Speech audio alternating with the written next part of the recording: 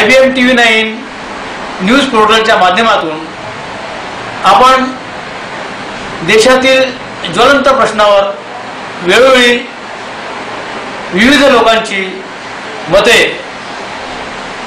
त्यांचा विचार आपण आपल्या प्रसारमाध्यमातून जनतेपुढे मांडलेला आहे. याबद्दल सुद्धा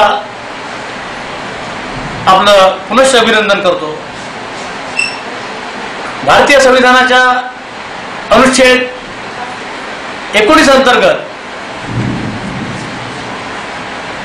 अभिव्यक्ती स्वातंत्र्य भाषण स्वातंत्र्याचा अधिकार संविधानाने सर्व नागरिकांना समसमान दिलेला आहे. आणि या अभिव्यक्तीच्या माध्यमातून या प्रसार माध्यमाद्वारे जे ज्वलंत प्रश्न आहे दैनंदिन घटना आहेत ते विविध प्रसार माध्यमा जनतेपुढे एका क्षणामध्ये एका सेकंदामध्ये करोडो लोकांपर्यंत त्या घटना या इलेक्ट्रॉनिक मीडियाच्या माध्यमातून जनतेपुढे जगामध्ये त्या जातात. आणि त्याच्याप्रमाणे विविध घटना आणि दुर्घटना या देशामध्ये लगेच लोकांना कळत असतात की या देशात काय चाललेलं आहे. परंतु काही माध्यम जे प्रसार माध्यमांना जरी खुली सूट असेल तर त्यावरती निश्चितपणे वेळोवेळी असलेल्या सरकारचा त्यावर पगडा असल्याचं सुद्धा आपल्या निदर्शनास आलेला आहे.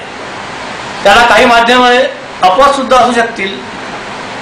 कारण बऱ्याचशा ज्या घडणाऱ्या दैनंदिन ज्या घटना आहेत त्या बऱ्याचशा प्रसार माध्यमामध्ये दाखवल्या जात नाही आणि ते सत्य जगापुढे प्रदर्शित करण्यात येत नाही. परंतु आपल्या या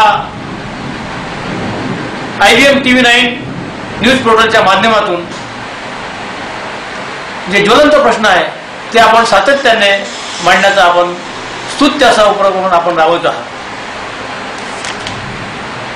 भाषण अभिव्यक्तीच्या स्वातंत्र्याचे एक महत्त्वाचे अंग वृत्तपत्राचे व माध्यमाचे स्वातंत्र्य हे होय. परंतु आज परिस्थिती अशी आहे की या वृत्तपत्राच्या आणि इलेक्ट्रॉनिक मीडियाच्या स्वातंत्र्यावर सुद्धा काही प्रमाणात निश्चित प्रमाणात बंधन टाकण्यात आलेली आहे. आणि त्यामुळे ज्या सत्य घटना आहेत त्या बऱ्याचदा लोकांपर्यंत पोचल्या जात नाही. त्यामुळे आजच्या या परिस्थितीमध्ये जे जे सर्व नागरिकांचे जे संविधानिक अधिकार अधिकार आहेत जे अभिव्यक्तीचे जे स्वातंत्र्याचं जे लोकशाहीचं जे सर्वात महत्वाचं जे मूल्य आहे या मूल्याची जोपासना आपल्या चॅनलच्या माध्यमातून आपण करता आहात.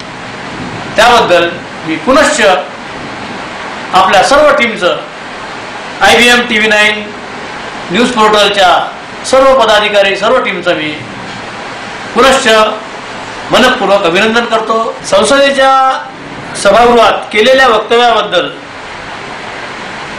कुठलीही कायदेशीर कारवाई होऊ शकत नाही.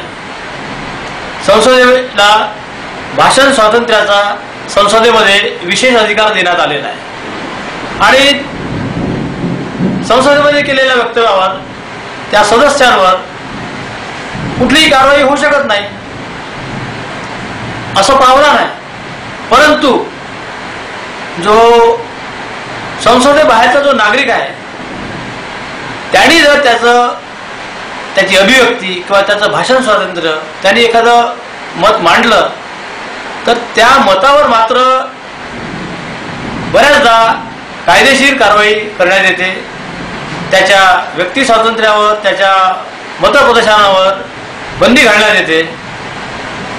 तर या दृष्टीने जर भारतामध्ये संविधानिक तरतुदीनुसार इक्वॅलिटी बिफोर लॉ समानतेचा कायदा आहे तर संसदेमध्ये असलेल्या खासदारांनी संसदेमध्ये केलेल्या वक्तव्यावर जर कुठली कारवाई होत नाही आहे आणि संसदेबाहेरच्या नागरिकांवर जर त्यांनी एखाद्या केलेल्या वक्त्यामुळे कारवाई होते तर ही सुद्धा जी विसंगती आहे ही सुद्धा आजच्या काळामध्ये संविधानिक माध्यमातून दूर होण्याची आवश्यकता आहे असं माझं वैयक्तिक मत आहे.